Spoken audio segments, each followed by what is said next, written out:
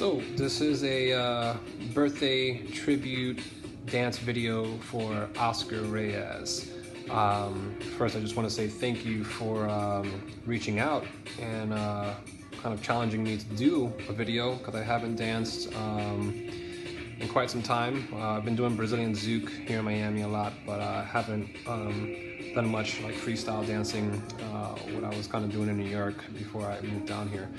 So uh, I'm excited to dance for you uh, for your birthday, and uh, you mentioned to give a few words about how I know you. Um, we connected on Facebook. Uh, primarily, I don't think that we've actually met in person. Uh, I know that I was uh, intrigued by uh, some of your, your your dance videos that you were posting up some time ago. I think it was 2000.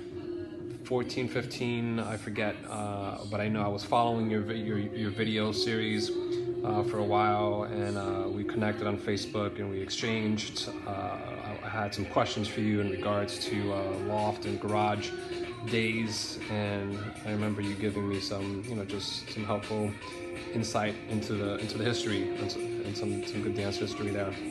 Uh, so I appreciate that. Appreciate our connection. even though it was uh, mostly online. Maybe one day we'll meet in person. But uh, anyhow, uh, I'm dancing to. Uh, it's a song called "Talking to the Walls" by Claude Boudard featuring EB Soda, and it's an Ash Walker remix. So I'm gonna go ahead and restart this and uh, get started.